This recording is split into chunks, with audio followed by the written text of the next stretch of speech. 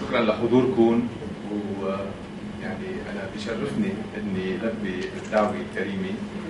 حتى أتعرف على الوجوه الطيبه بالأول وثانيا نحكي شوي من القلب للقلب يعني مش محاضرة على الطريقة الأكاديمية أو محاضرة على الطريقة السياسية هو شوي من تبادل رأي إذا بتسمحوا.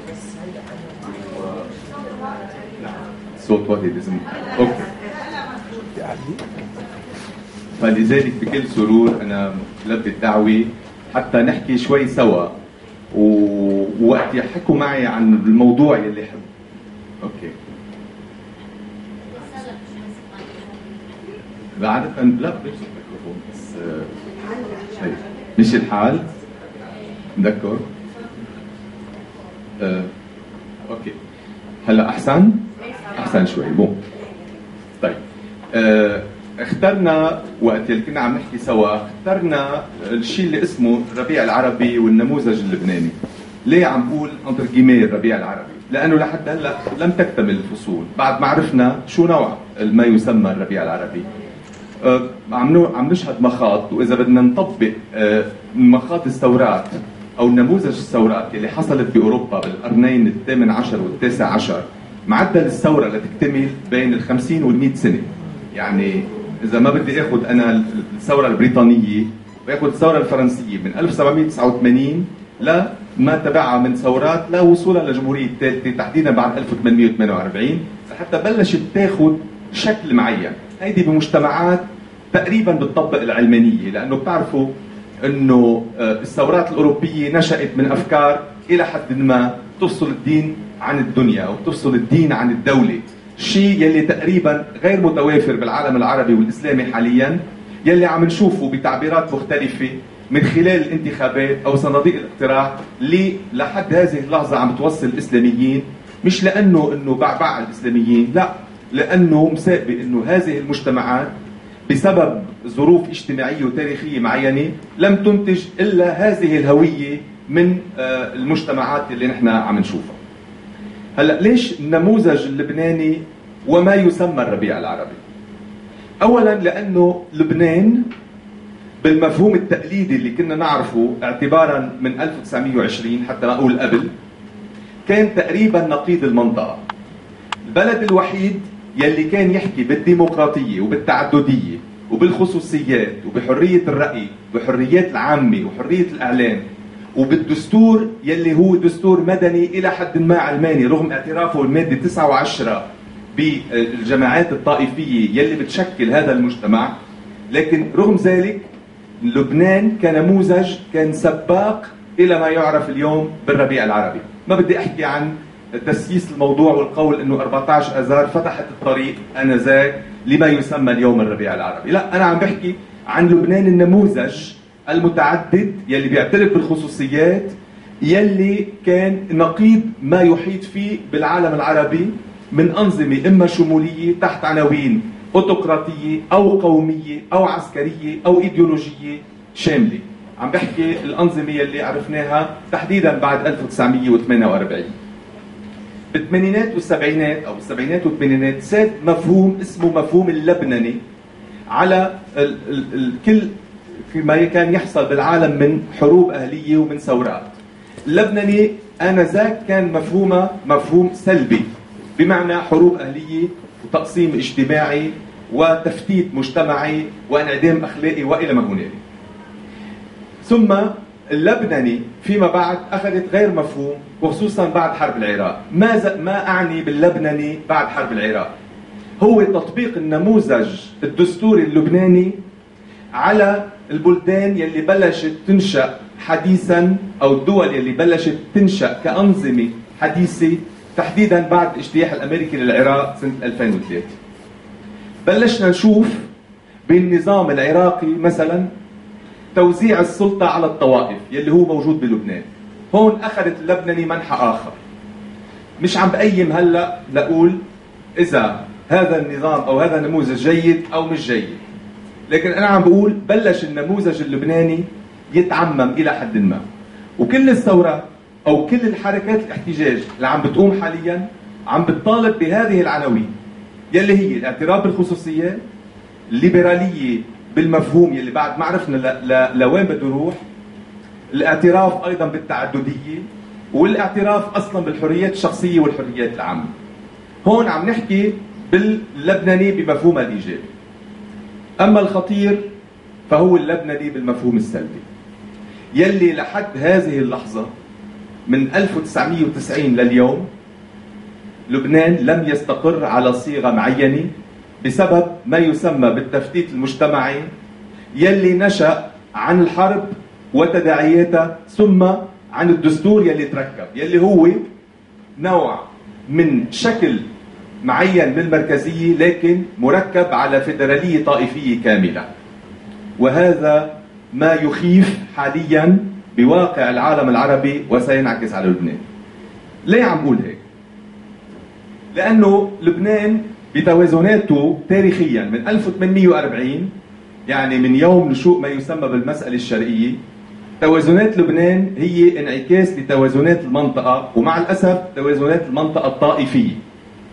يعني نحن عرفنا أنه بلحظة تدخل الدول الكبرى فيما يعرف بالمسألة الشرقية أصبح في نهوض مسيحي ماروني بجبل لبنان مترافق طبعا مع صعود اجتماعي واقتصادي وثقافي كبير للموارنة. انكفأوا الدروز. فيما بعد مع نشوء حركة القومية العربية وانتشار الأفكار القومية شفنا كمان حالة صعود سنية التقت مع الشيء اللي كان اسمه القومية اللبنانية. لكن هاي القوميتين مضافا إليها القوميه السوريه لم تستوعب باقي المكونات يلي نحن بنعرفها؟ ما بدي أدخل بكل اللي حصل من انعكاس بعد 48 على الواقع المجتمعي والطائفي اللبناني من زمن عبد الناصر إلى زمن حافظ الأسد إلى التفاهم السعودي السوري المصري يلي انكسر سنة 2005 بدي أحكي حاليا عن الواقع حتى ما نبعد كثير نحن الآن بلبنان بحالة انتظار مثل مثل ما ملاحظين، مجموعتين الكبار الأساسيات يلي له الامتداد خارج الحدود اللبنانية بالمفهوم الطائفي والسياسي. يلي هن السنة والشيعة بحالة ترقب وانتظار. خصوصا فيما يتعلق بالنظام السوري. ناس ناطرة سقوط النظام يلي أنا ما بعرف إمتى بده يصير ما بدي أتوقع ولا ولا حدا بيقدر يتوقع إلا أو المشعوذين أو الأنبياء ناس ناطرة سقوط النظام لحتى تكسر المعادلة اللي قائمه من سنه 2000 خليني نقول من 1990 وترجمت أكثر بعد 2006 وناس ناطرة إنه يقدر النظام يتغلب على الأزمة حتى يرجعوا يعيدوا التوازنات اللي قائمة حاليا. نحن الآن نواجه أربع حالات في لبنان متصلة بالخارج. الحالة الأولى هي الحالة السنية الصاعدة بالمنطقة يلي عم تتغذى من آه، صعود دول مجلس التعاون الخليجي زائد تركيا يلي إلى حد ما متحالفة مع الغرب حاليا يلي مشكل هذا الغطاء لأسباب عديدة. وفي الحالة الثانية يلي بتعتبر حالها بتعتبر حالها عم برجع بستعمل التعبير بتعتبر حالها بحالة دفاع عن النفس رغم التقدم اللي حققوه الشيعة بالعراق. لكن أمام الهجوم يلي عم بيصير بسوريا وعلى سوريا والصراع على سوريا. في حلقة اسمها الحلقة السورية عم تتعرض حاليا لمحاولة الكسر والقطع. إذا الحالة السورية تطورت إلى ما يشبه تغيير النظام بسوريا أو باتجاه فوضى الحالة الشيعية بتكون تلقت ضربة من إيران وصولا لجنوب لبنان. فإذا صار عندنا حالتين. في حالة ثالثة تاريخية ما, ي... ما هن الدروز يلي هن بأساس تكوين لبنان التاريخي وخصوصا بجبل لبنان. مرقت هذه الطائفة بمخاضات عديدة من ألف تحديدا من 1860 لليوم. لتستقر على واقع ديموغرافي وجغرافي شوي دقيق. خسرت معظم المكاسب السياسية معظم المكاسب الديموغرافية لأنه أصبحت إلى حد ما أقلية. والآن تتعرض إلى حصار جغرافي. إن كان داخل الجبل بمناطق مخترقة إن كان بإقليم الخروب أو بكيفون أو بالقمطية أو بالمحيط أو على الأقل من ظهرهم اللي اسمه جبل الباروك أو بالخط الساحلي أصبحوا بجبه جزيرة معزولة أضف إلى ذلك هن مبتعدين إلى حد ما حاليا عن ما يعرف بالثورة السورية بمنطقة جبل الدروز. وعلاقاتهم مع دروز إسرائيل إلى حد ما مقطوعة. أصبح ما بقى فينا نحكي عن مكون مرتبط تماما بالمنطقة. هو عم بيعيش حالة انكفاء داخلي. بيبقى في الحالة المسيحية. الحالة المسيحية يلي كانت بأساس تركيب لبنان سنة 1920 المشروع الكبير يلي كانوا حاملينه المسيحيين تحديدا الموارني تعرض إلى إحباطات ونكسات عديدة وسقط. خلينا نقول ونعترف. لكن عم بيعيشوا الموارني والمسيحيين حالة ضياع سياسي أمام الصعود الشيعي يلي كان قائم والصعود السني اللي عم يكتمل حاليا. المسيحيين ضايعين بين إنه يردوا لبنان العشرين مش قادرين عليه بين المشروع القديم يلي نشأ بخلال الحرب يلي كان بيحكي إما عن دولة صغيرة أو عن كانتونات يلي غير قابل للتحقيق المشروع الآخر يلي عم بيقول نرجع على شيء اسمه تحالف الأقليات الذي يسقط حاليا في المنطقة وفي المشروع يلي يعبر عليه عنه تاريخيا من سنة 43 وهو التحالف مع الأكثرية بالمنطقة اللي هي الأكثرية السنية. فإذا نحن أمام أربع حالات. الخطير بالأمر هو تفسير موازين القوى أو تفسير النصوص حسب موازين القوى. أنا بدي آخذ حالة معينة اللي اسمها الحالة الشيعية على افتراض. الحالة الشيعية كانت بتحالف من سنة 1973 من زمن الرئيس حافظ الأسد. والإمام موسى الصدر بتحالف موضوعي تحالف جدي أدى إلى تبادل خدمات عديدة ساعد النظام القائم بسوريا وأيضا ساعد الحالة الشيعية إلى النهوض بشكل كتير كبير بلبنان توصلت للواقع الحالي. إلى حد ما كانت مرتاحة ومطمنة بالها عم بحكي باللغة الدارجة يعني. مطمنة بالها معنويا إنه في عمق كبير بيحميها وزاد هذا الاطمئنان بعد 2006 بعد حرب تموز ثم بعد الانسحاب الأمريكي من العراق أخيرا يلي فتح الخط من إيران يلي ما حدا ما حدا بينكر وامبارح قال سيد نصر الله إنه في تحالف بين إيران والجماعه والجماعة الشيعية في لبنان. فتح الخط من إيران عراق سوريا وصولا للبنان. طيب. أنا بدي أفترض إنه هذه الجماعة اكتشفت بوقت الأوقات إنه رايحين على حالة فوضى وضعف للنظام السوري أو سقوط للنظام السوري. كيف سيكون رد الفعل في لبنان؟ ماذا ستفعل هذه الجماعة؟ هذا هو السؤال الكبير. هل ستنفذ حالة انتشار قوى معين أنا أشك في ذلك. هل ستطالب بالتعويض بنصوص دستورية تحميلها حقوقها أو تحميلها مطالبها دستوريا بقلب النظام اللي حاليا غير متوازن مثل ما هن بيعتبروا كمان ما بعرف. هذه الحالة كمان تطرح أسئلة. ثم الربيع العربي خليني أقول تداعياته حتى ما أقول خطورته على الواقع اللبناني. في واقع أساسي أنه لبنان كان هو الرئة الوحيدة التي يتنفس منها العالم العربي من كل النواحي الاقتصادية كنموذج مثل ما حكيت والديمقراطية والليبرالية والإعلام والمنصة لكل العالم العربي. إذا أصبح كل العالم العربي يشبه لبنان وأنا أستبعد ذلك لأنه سيمر بمخاض كثير كبير.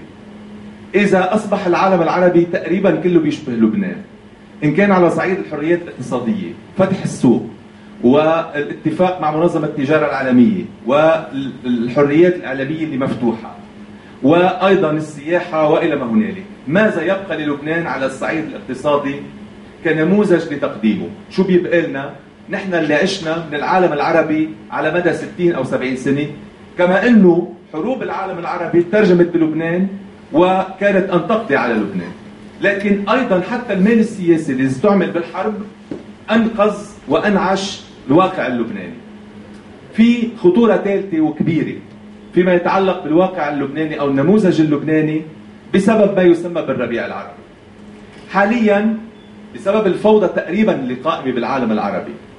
وضرب ما يسمى بمحور اللي كان اسمه محور الممانعة نهائيا. وانكسار التوازن الاستراتيجي مع إسرائيل.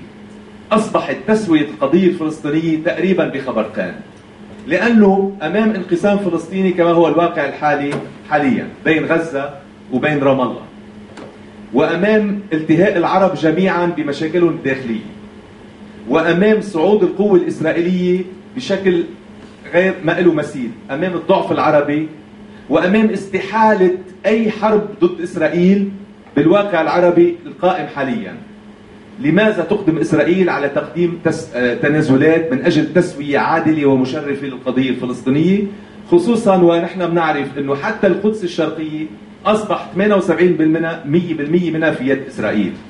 لما بنعرف إن المستوطنات بالضفه الغربية عند انطلاق مؤتمر مدريد سنة 1991 كان عدد سكانها 106000 حاليا 383000 لما بنعتبر إنه تقريبا ثلاث أرباع الضفة راح بالمستوطنات. كلفة إزالة المستوطنات على إسرائيل كثير كبيرة خصوصا وأنه الضفة الغربية بمفهوم التوراة هي لحد هذه اللحظة يهودا والسامرة. إذا بدنا نشوف هذا الواقع نكتشف أنه إسرائيل لن تعيد الأرض ولا الشعب الفلسطيني ولا تعترف بحق العودة بالحرب اللي مش واردة أمام الواقع المنهار حاليا بالعالم العربي. ومش واردة أنها تقوم بعملية تفاوض كمان أمام انكسار ميزان القوى القائم حاليا. ما في شيء بيلزم إسرائيل تحديدا مع نتنياهو إنه تفاوض. أصبح ما ماذا يبقى؟ يبقى إنه هذا الشتات الفلسطيني سيبقى كما هو قائم في لبنان وتحديدا في لبنان والأردن. الأردن حاليا ماشي بنظرية شعار الأردن اولا مثل ما كنا عم نحكي بلبنان اولا وعنده الهاجس الكبير من إنه تتصفى القضية الفلسطينية كما كاد يحصل عام 1970 في الأردن. ولبنان أيضا نظرية الوطن البديل اللي هربت من الأردن بال 70 وإجت على لبنان بال 76 واستمرت هذه اللحظة في مخاطر عديدة بسبب الفوضى الناتجه عن ما يسمى بالربيع العربي إنه تنسى القضية الفلسطينية وتتصفى بهذا الوضع المتضعضع وننتهي بتكريس أمر واقع وهو إبقاء الفلسطينيين بواقعهم الاجتماعي والديموغرافي القائم في لبنان ما يؤثر على لبنان ديموغرافيا. واقتصاديا اقتصاديا بشكل أساسي واجتماعيا وطائفيا. فهذه إحدى المخاطر على النموذج اللبناني. بكل الحالات ما راح انهي بشكل يعني كثير دراماتيكي. وسلبي. راح جرب أقول طبعا هذا هو الواقع اللي راح ياخذ وقت. لكن خليني أرجع أقول إنه الناس اللي بتتشابه آخر شيء بتتفاهم. إذا أصبحت الأنظمة العربية بتشبهنا وإن كان مع سلبيات لبنانية وغير لبنانية حتى عربية بعتقد بصير في إمكانية تفاهم بحد أدنى من مفاهيم ومعايير لها علاقه بالأنظمة الديمقراطية خليني أقول بالمؤسسات اللي ممكن تقوم بالبرلمانات اللي ممكن ينحكى معها مش بمجالس الشعب المفروضة بالتخاطب من خلال شعب لشعب مش من خلال نظام وحاكم وفرد. ممكن إنه نتقدم فشخة في هذا العالم العربي التعيس من هلأ بركي لشي 50 سنة. وشكرا.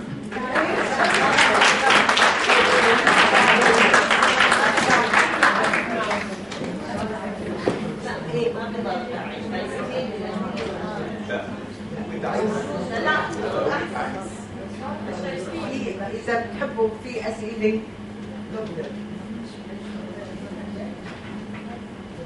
يرفع إيده.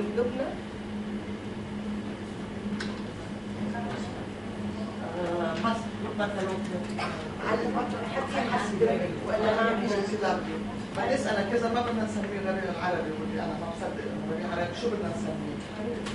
أنا ما عندي تعب ما عندي ما لي مسمى حركة احتجاج مجموعة ثورة حركة احتجاج. كل شيء كل شيء. أنا بعتبرها حركة احتجاج على الواقع القائم لاعتبارات عديده الناس نعم.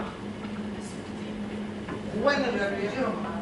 ممكن يجي بس هلأ بعد مش مبين. هيدي بداية ربيع. هيدي بداية. نعم. هيدا رأيي الشخصي بجوز في ناس. أنا أنا عم بقول لحد هذه اللحظة الربيع بعده شوي مأخر. هيدي بداية ربيع. ممكن. الحراك بالنهاية شو ما كان ممكن يوصل لمكان معين. ممكن يوصل. بس نحن بعدنا بالبداية ما بنقدر نعرف. يعني مثلا أنا بمصر يلي عندها تاريخ من زمن الملكية من زمن إبراهيم باشا حتى لزمن عبد الناصر لليوم يلي عندها تاريخ من المجتمع المدني المنفتح. ما ننسى انه إنه مصر مثلا 18% من اقتصادها قائم على السياحة. مصر أم الفنون.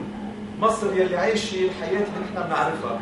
هل يمكن المجتمع المصري أن يتقبل مجموعات مثلا تمنع غنية كليوباترا لعبد محمد عبد الوهاب اللي بيقول ليلنا خمر واشواق تغني حولنا؟ هل ممكن إنه يعاتبوا عادل امام؟ أنا بعتبر إنه المجتمع المصري بعد شوي هو بيفرض نفسه. شوي شوي. هونيك فينا نقول إنه بلشنا بالربيع. بس نحن هلأ بعدنا بنص المعركة. الغبرة قائمة. بعدنا بأول. بعدنا بأول. كان بده يقول إنه نحن أصلا على أيام ما كانوا الرؤساء بالعالم العربي ما كان أساسا في حديث عن فلسطين كان بس تنقال مثل بالإعلام أو لما يكون في مقابلات. فمش كثير نتأثر إنه هلأ ما رح يحكوا بالقضية الفلسطينية. شو بتقول؟ وشغلة ثانية إنه آه اللي صار بالعالم العربي إنه ما كان في تنظيمات آه محددة. مشان هيك لما بدهم ينتخبوا بدهم يلجأوا لشيء منظم اللي هو الإسلاميين. في رأي بيقول لو لم يتفرجوا المثقفين على الثورة وما تدخلوا كان اجى مثقفين أكثر على مجلس الشعب كنت بدي أعرف.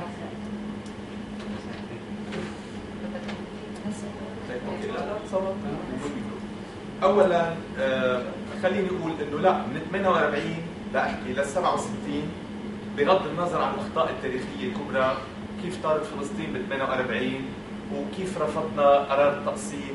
ثم كيف رفضنا سنة ال 65 آه، آه، مشروع بورقيبة للتفاهم والحل السلمي؟ لا كانت عم تنشأ قوى خلينا نقول إلى حد ما إلى حد ما كانت عم تيجي تقول إنه لا في إمكانية نعمل توازن بالحد الأدنى رغم إنه انكسر وانضرب سنة 67 لاعتبارات عديدة ما بدي فوت فيها. طبعا بعد 73 تغير المنحى ورحنا على آه، يعني سبيل الصلح المنفرد. يلي أصلا العرب مجتمعين ما قدروا صالحوا أو حاربوا إسرائيل فكان بالحل كل دولة آه، بدولتها طبعا بالمرحلة الأخيرة وقت فاتت إيران على اللعبة بعد 79 نشأت هي نوع معين من محاولة محاولة الزكزكة بإسرائيل من خلال التفاهم أو التحالف السوري الإيراني مع بعض حركات المقاومة اللي بنسميها بالعالم العربي من حماس إلى حزب الله إلى غيره. حتى هذه الحالات الآن اندثرت نهائيا، لا أنا خليني أقول إنه بالبداية لحدود 67 كان في محاولة، ما ننسى إنه كان في قيادة عربية موحده مشتركه انهارت بعد ال 67 ومن وقتها بلش التدهور يلي نحن عم نشوفه حاليا. طيب هيدي الجواب على الشيء الأول. الشق الثاني أنا موافق معك تماما إنه الكبت وضرب الحريات وهجرة الأدمغة من العالم العربي. يعني ما ننسى أنه وقت فات أمريكا على العراق كان في 4 ملايين عراقي من أصل 24 مليون بالخارج مهجرين من 58 من زمن الثورات العظيمة برا ما ننسى أنه سوريا حاليا فيها أكثر من 3 ملايين بالخارج أيضا مشتتين نتيجة الانقلابات اللي حصلت 49 وبعدها وآخر شيء من سنة 70 لليوم أنا موافق صحيح أنه ما في نخب كانت موجودة جوا. لذلك أجوا الإسلاميين مسكوا الأرض. لكن خليني أقول كمان إنه الخلفية الإيديولوجية للي عم يحصل اليوم وين ما كان مين اللي مسقفين؟ مسقفين اليسار يلي أصبحوا يمين؟ ما آخر شيء بدك فكرة يعني خلطت ما يعني عم مين اللي مسقفين؟ مسقفين شو؟ اليسار؟ ما له وجود. يعني في عناوين. ناخذ مثلا بالحاله السورية. أنا بعرف الأستاذ ميشيل كيلو. قولي لي شو بيمثل على الأرض بالنسبة للحالة المجتمعية بشكل هلا هلا برهان غليون مثلا يلي عايش بباريس. ما في لهم ارتباط بالواقع. الواقع القائم حاليا هو حركة احتجاج ورفض لكل ما هو قائم. لذلك اتحاد التنسيقيات السورية ما حدا بيعرف مين الناس. مجموعات موجودة جوا هي بتعرف حالها وبتعرف بعضها. يمكن ما لها علاقة باللي قائم برا المجلس الوطني هو مجموعات بالخارج ما لها علاقة بالداخل. فمشان هيك عم بقول إنه بدك itinéraire ال itinéraire مش واضح بالنسبة للثورات لحد هذه اللحظة. والأخطر إذا أنا عم بقول اليوم إنه الحركات الإسلامية هي البديل إذا بدي أجي أعكس أو أقول بالسؤال طيب إذا مش موجوده الحركات الإسلامية مين البديل؟ ولا أحد. إيه، ما في. فوضى لحظة الشعب اسمع الميكروفون يلا بس لحظة أول شيء أنا بحب أشكر السيدات خريجات ال يو إنه سمحوا لنا نقدر نسمع الأستاذ الله غانم. اللي بنحترمه بنقدر آراءه بنشوفه كل يوم بالتلفزيون. آه، كثير أنا لقيت التحليل ال- للمجتمع اللبناني بطوائفه كان كثير واضح. بس بحب أنا أسألك إنه قلت إنه نحن هلأ بمرحلة تعيس تعيس. كمان أنا بحب أقول لك إنه كان لبنان اللي أخذ استقلاله بسنه 43 هلجأ كان عمره خمس سنين وقت اللي صار فيه أزمة مع الفلسطينيين صحيح صحيح. و- وكنا رغم هيدا مع الجمهورية اللي كان رئيس الجمهورية شهاب حقيقة كان عمال يبني دولة بكل معنى موافق 100% وإذ وكان في للحقيقة موجة بين المثقفين تنخلي لبنان يصير علماني. عندنا فتنة بحرب ال- الحرب مع الفلسطينية أول شيء، بعدين الاحتلال أو ال- الاحتلال السوري والإسرائيلي. السوري الدخول السوري. كله. ورغم كل شيء صار. للحقيقة نحن كشعب صمتنا. لدرجة إنه كل السفرات كانوا متعجبين إنه الشعب اللبناني قديش كان قدر قاوم بفعالية ال- الأزمات اللي مر فيها. هلأ أنا عم بتساءل إنه كلمة مؤامرة نحن ليش بدنا نخاف منها؟ كلنا عارفين إنه في تخطيط واضح إنه بدهم يقسمونا تنسور آه، كيانات طائفيه تريح إسرائيل. شئنا أم أبينا؟ بلا نتخبى وراء أصبعنا. بس مساقبه إنه اللي وراء إسرائيل هن اللي حاكمين هلا العالم. وإنه نحن أو الاسرائيلي وراء مش بس وراهم هي بتمشيهم لأنه عرفوا يخلقوا لوبي كثير قوي. هيدا اللي نحن ناقصنا. ناقصنا بالعالم العربي. يمكن لبنان هيدا الواقع. لبنان عنده نوع من. من الذكاء البراغماتي إنه ضلينا أنا بعد ما شفنا من خير ومن شر وما فيني أحكم. ما أنا ما فيني أحكم كمواطنة آه، عمالي أتفرج على اللي عم بيصير ببلدي يعني وبلدي من عمري. وأنا اختصاصي علم اجتماع. بعرف من الناحية السوسيولوجية قديش في تفاهم عميق بين الطوائف. هيدا اللي خلى البابا يقول إنه لبنان هو رسالة آه، رسالة الانسانيه والمحبة. ولاحظت إنه ما في اطلاقا بغض بين الشعب. مشان هيك أنا مأملة إنه لبنان يكون نموذج. إذا قدرنا نقوى على شيء اسمه مؤامرة. ولا نقوى على اسمه مؤامرة بده غصب عنه السني والشيعي بقى يبطلوا يطلعوا للي برا والمسيحية ذات الشيء. كمان يعني إنه يقرروا.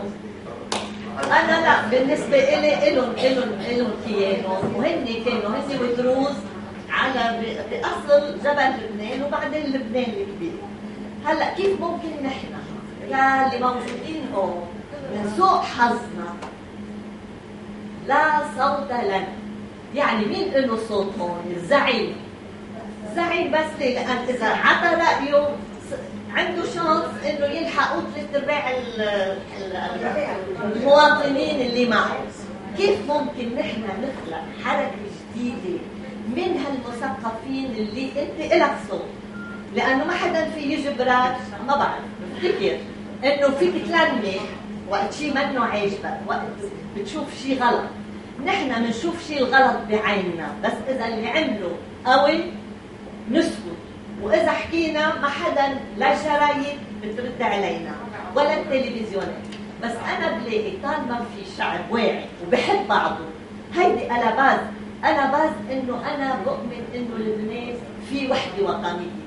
لأنه الشعب عايش مع بعضه بحب بعضه بعيد مع بعضه ضد الامن مشان هيك بدنا بدنا إنه هالحركة المدنية الموجودة تقدر تلاقي على راسها زعيم. زعيم بس. شو شو مهمته هالزعيم برأيي أنا؟ محاسبة المسؤولين اللي نحن جبناهم كل ما يعملوا غلط. كل ما إنه بيعملوا شيء ضد الدستور بيعملوا شيء ضد القانون بيعملوا شيء ضد القضاء. وساعتها نقدر نحن نقول له أنتم وقت والله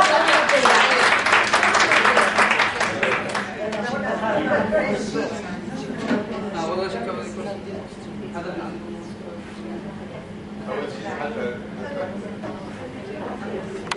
أول شيء أنا بالنسبة لي حسب بقى حضرتك كمان استاذه سوسيولوجي المفروض. أنا بالنسبة لي ما في شيء اسمه مؤامرة بالمعنى إنه هيك بيقعدوا ناس بخططوا باوضه سوداء وبيحطوا شموع وببلشوا خرايط في وقائع تفرض ظروف معينة ومصالح دول تركب على هذه الوقائع. وكل كل دولة أو كل مجموعة تستعمل مصلحتها مشان تمشي الشيء اللي بنسميه الخطة أو المخطط بتريده. فإذا آه، المؤامرة اجمالا ما حدا بيطبقها إلا ضحاياها الضحايا هن هي اللي بيطبقوا المؤامرة من خلال إنه يقدموا كل يوم الوقائع والظروف والمعطيات اللي بتسمح إنه يحصل. اثنين عم بتقولي لي إنه بدنا زعيم. رجعنا على نظرية زعيم. يعني آخر شيء آه، مثل ما أنا في في في تعبير أو في أحلى تعريف للديمقراطية بيعجبني. بيقول إنه شو هي الديمقراطية؟ إنه حق الشعب باختيار ديكتاتوره. يعني عم نرجع على الزعيم. إنه آخر شيء آه، بدنا حدا يكون ديكتاتور لنا هون المشكل يعني آه، ديكتاتورية النخبة كمان مشكلة. ومن وين بنجيب النخبة؟ مين بنقي النخبة؟ بنختار. ثالثا على على قصة إنه تشكيل حالة مجتمع مدني. يعني أنا عن جد إنه كنت بتمنى إنه ينقال إنه والله مجتمع مدني مكون من جميع الطوائف وعابر للطوائف وإنه هاي المجموعة مؤثرة وفاعلة وين ما كان. لكن مع الأسف جربناها وجربنا كثير. نلاقي عند ال... عند اللي بسموها حزة نلاقي كل فريق التحق بفريقه وما في شيء اسمه مجتمع مدني بالمفهوم اللي بنعرفه بلبنان. لأنه آه العادات الاجتماعية التقاليد النظام بتركيبته system هو ال system بذاته مش منتج إلا هذه الحالة. وهلأ عم بيتكرس أكثر وأكثر بدليل الأزمة الأخيرة. يلي مثلا الجنرال عون معتبر حاله بيمثل جزء أكبر من المسيحيين عم بيجي يقول أنا بقترح الموظفين المسيحيين. آه كمان رئيس الحكومة بيقول أنا بقترح السنة الشيعة بيقولوا نحن يعني واصلين لمر لمطرح كثير صعب وما بعتقد إنه في إمكانية للمجتمع المدني أما بتقولي لي التلفزيون إيه التلفزيون مع الأسف هو وسيلة تعبير لكن التعبير مش معناها التقرير. واحد. اثنين يعني أنا كمان عندي شعار لإلي بقول أسوأ صاحب قرار أهم من أهم صاحب رأي. وبالتالي صاحب القرار اللي بيملك القرار اللي عنده القوة اللي عنده القوة مرات المجتمعية يعني بيمثل طائفته بيمثل جماعته بيمثل حزبه بيمثل أقوى بكثير من صوت صارخ في البرية. وعم نحكي بعدنا عن المعارضة السورية عن برهان غليون وعن ما بعرف مين هيثم المناع وعن ميشيل كيلو. كل هاي حالات بتعبر عن وجدان معين. لكن على أرض الواقع ما فيها تحرك شيء لأنه القرار مش عنده. بس عندي سؤال آه، إذا بنرجع لموضوعنا الربيع العربي هلا كمان أعطوه اسم الخريف العربي. الخريف العربي. هلا يصلح إنه يكون ربيع عربي بمحلات وخريف عربي ببلدان ثانية يعني إحنا مجتمع بنقسم الناس منقسمين وهذا الشعب بحق إنه يتحرر وهذا الشعب بحق إنه يسوق وهذا الشعب شو البديل؟ يعني لو ما صار ثورات نحن دائما بنقول عرب مدعوسين كل حياتنا نحن الشعب العربي شعب مدعوس مدعوس من حكينا صارت الثورات وسموها الربيع العربي. يعني هل الربيع العربي مطلوب منه أو الثوره إنه ثاني يوم تصير بيرفكت وديمقراسي موجوده ديمقراطيه وكل الناس موجودين وزع الأدوار. ولا المطلوب من كل الثورات إنه يكون في عذاب لتوصل للنتيجة الإيجابية يعني شو البديل؟ للثورات إذا هذا الشعب بده يغير الأنظمة يلي هي نحن باعترافنا الأنظمة. قصدنا وزقفنا بليبيا مثلا. قصدنا وزقفنا بمصر. نعتقد إنه بكل الدول اللي جايين عليها الدول العربية لازم كل الشعب يوصل للنموذج اللي نحن اللبناني بنسميه النموذج الايجابي شو البديل تعتقد أول شيء أنا قلت إنه النموذج اللبناني هو آه، نموذج يحمل إيجابيات وسلبيات لأنه نحن الديمقراطيه غير مكتملة بشكل عام وديكتاتورية كمان ناقصة لأنه ما تنسى كمان نحن الديكتاتورية بتطبق عندنا من خلال ديكتاتوريات الطوائف.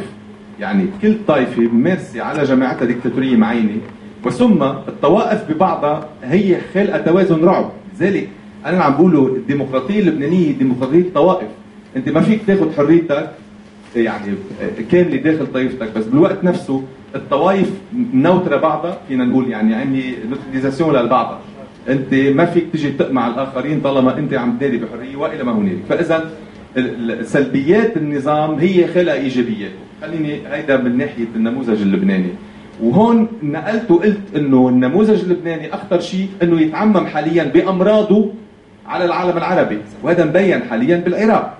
نحن بالعراق اليوم الناس معتبر إنه الأمور خلصت. لا بالعراق أنت في عندك نظام أساسي اسمه دستور آه، حكي عن الأقاليم وحكي عن الفيدراليات ومطبق منه شقفة وحدة بكردستان. والا أنت كيف تقول في نوع من الحكم ذاتي بكردستان؟ بس من ضمن دولة العراق. فإذا بكرة مقتدى الصدر بيقول أنا بده يطلع لي كمان إقليم وأنا حاكمه. وأيضا بكرة أسامة النجيفي بيقول أنا كمان بدي وبيطلع لي بمنطقة الوسط. بنرجع بنتقاتل على الأقاليم جغرافيا وبنتقاتل على الثروة اللي هي البترول. وهذا بيتعمم. لذلك اليوم في خوف بما أنه سوريا تحتضن هذا التناقض الإثني والديني الكبير. في خوف أيضا أنه ينتقل الموضوع لسوريا. وفي زعماء بلبنان أنا جالس معهم مش من زمان. بلشوا يحكوا عن تقسيم سوريا تحت أرض الواقع اللي أنا مخالف الرأي وبعتبر مستحيل إنه يصير.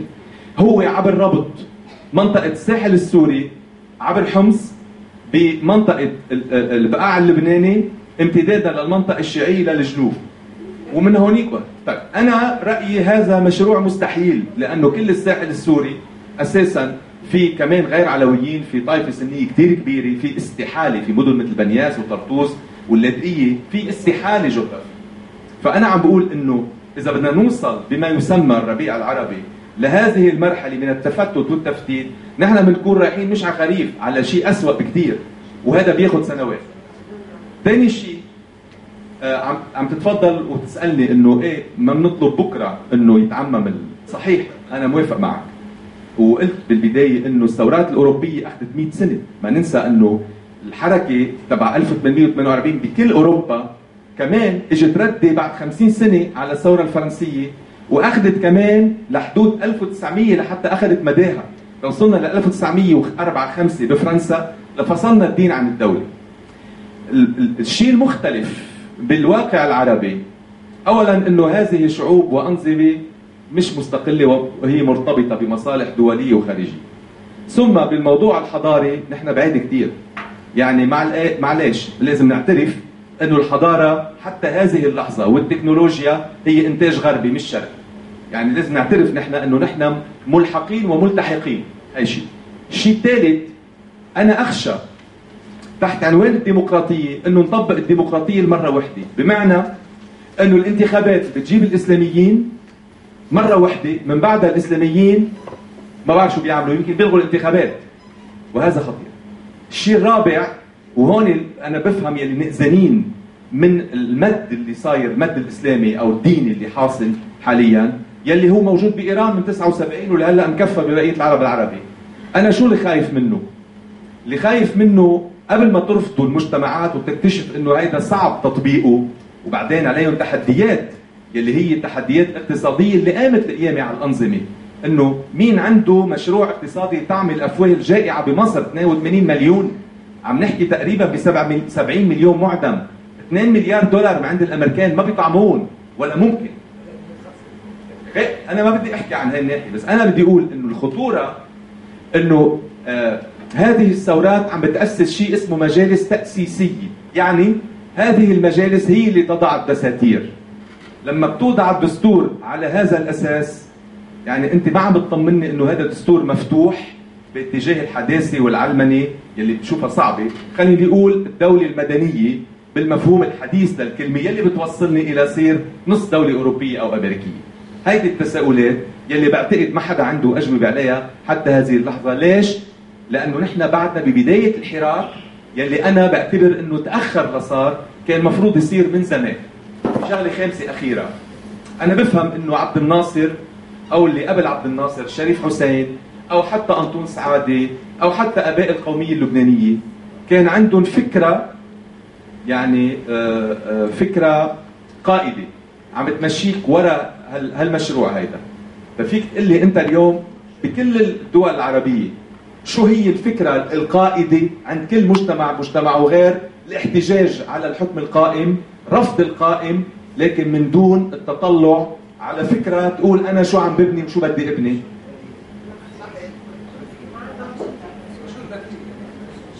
أنا رأيي ما في ما في شيء اسمه بديل. في بكرة معطيات بيفرزها المجتمع بتاخذ وقت. وهو وبيخلق توازن اجتماعي هو بذاته بيؤدي إلى تغييرات بطيئة بتاخذ وقت. لكن بدنا ننطرها وبتعمل معها مخاض ممكن يصير في سلبيات وفي إيجابيات. لكن بعد وقت تركز الصورة. هلأ ما فينا نحكي.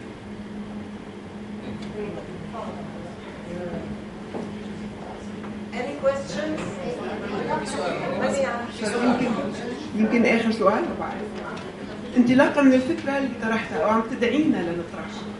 هالفكرة ممكن تكون الوسطية لحتى يتحول مثل ما قالت الدكتوره مراد هالرأي العام أصحاب الرأي لا أصحاب قرار كما انت عم تتفضل بتقول يكونوا بمركز قوى يا ترى إحنا على ابواب استحقاق انتخابي سنة 2013 والانتخابات رح تفرض قطب يمين وقطب شمال.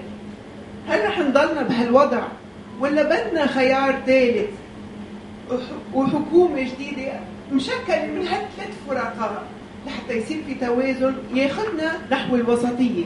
وهون إذا ممكن تعرف لنا معنى الوسطية معنى الاعتدال معنى العلمنه معنى اللي هلأ صار في كثير أحزاب عم تتجه صوب الوسطية. آخرها صار بتراب مصباح الاحدب آه، عمل حزب جديد يتجه إلى الوسطية. يعني هو كان بال 14 فيا ترى في موجة. مثل غيره مثل غيره. فهل ممكن هذا يكون الحل؟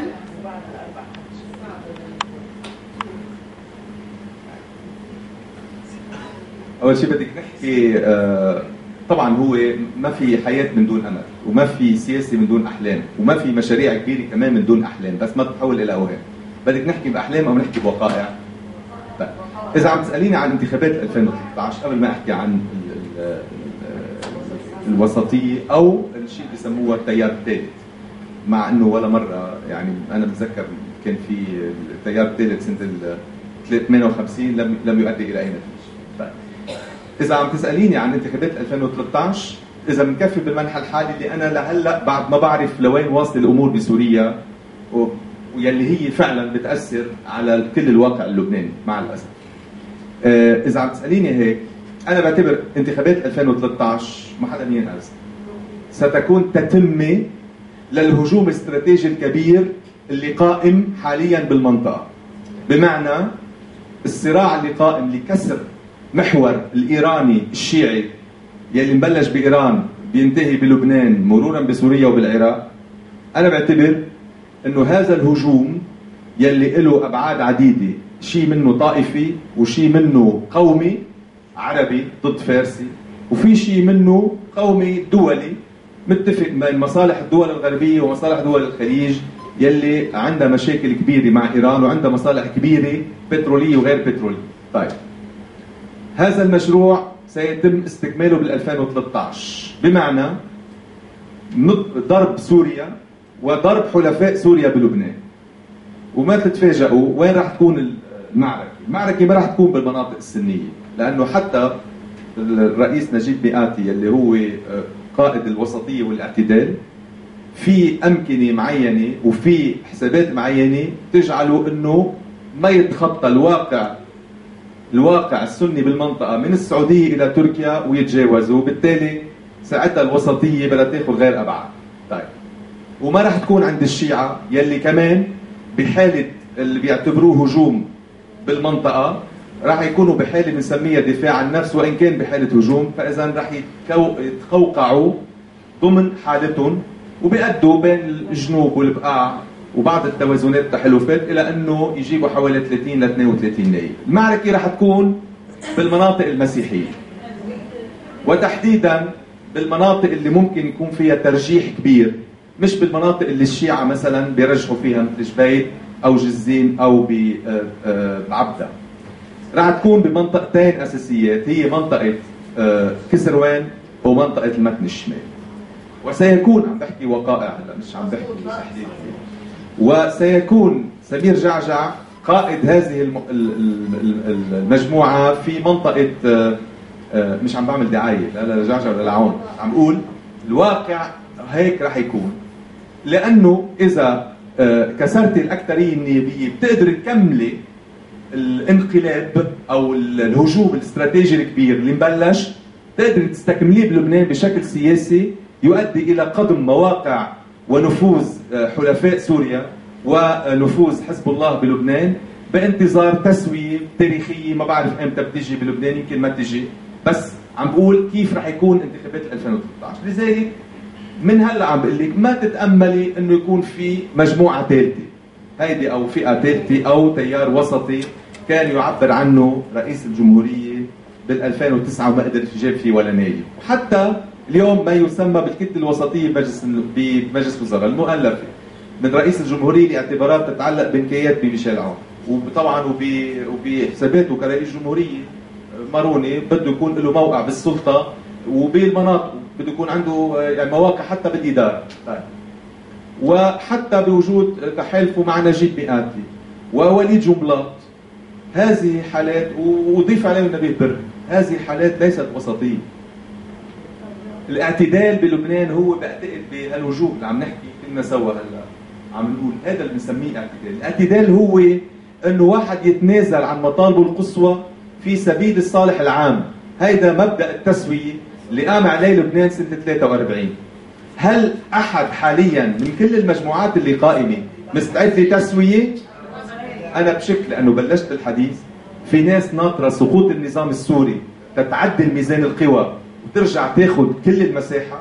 وفي ناس معتبرة بس النظام السوري يحسم وأنا بشك أنه يقدر يحسم يحسم لحتى ترجع تعدل ميزان القوى الداخلي وتقضي على خصومها.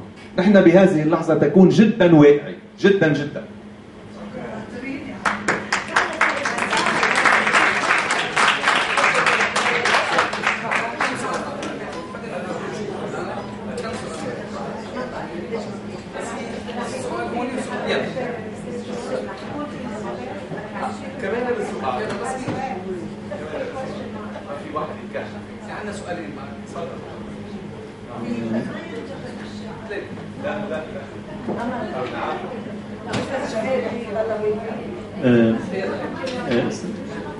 أستاذ جورج بدي اسالك بس كنت سؤال يعني عام عن عن الثورة اللي حكيت فيها بالأول إنه آه، برأيك الخاص آه، شو هي نقطة الفصل بانجاح الثورة؟ كيف بنقيس نجاح الثورة؟ هل إذا اشط الطاغية ولا شو برأيك الخاص؟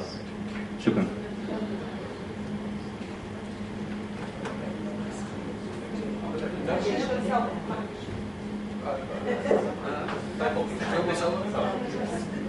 لا أكيد آه، آه، سقوط رأس النظام مش معناها سقوط النظام.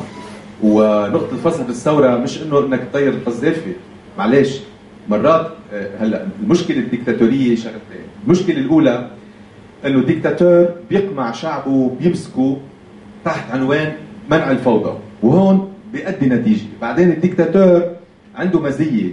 من فرانكو لمين؟ لهتلر وصولا لمعمر القذافي لصدام حسين. ديكتاتور دائما عنده رؤية غلط صح؟ اللي بدك إياها بس بحاول يطبقها بالقوة.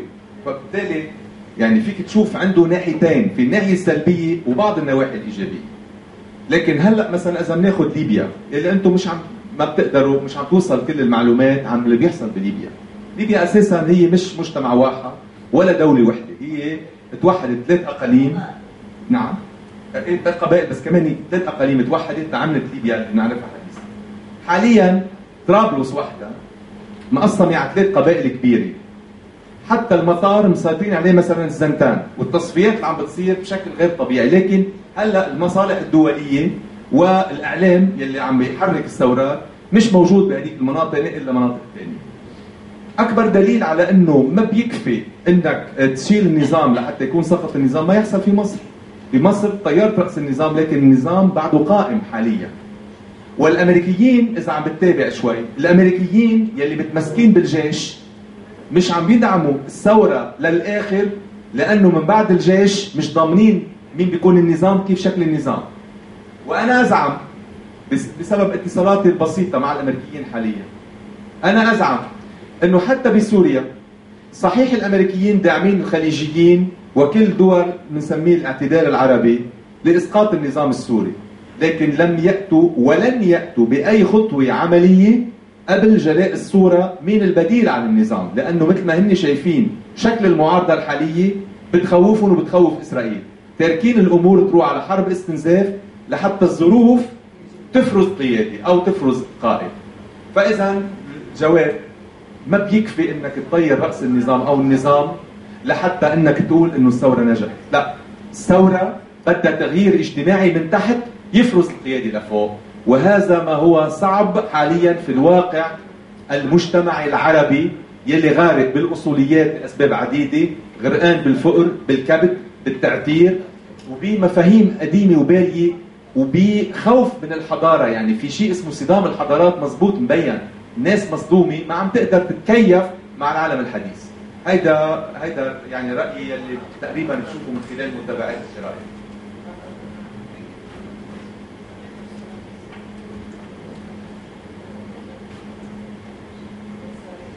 سؤال كثير بسيط. شو دور السايلنت ماجوريتي كلهم من الفئة المعتدلة المثقفة. هيك بس بيروحوا بضلوا قاعدين ببيوتهم وما بيطلعوا بيعملوا شيء. بالتاريخ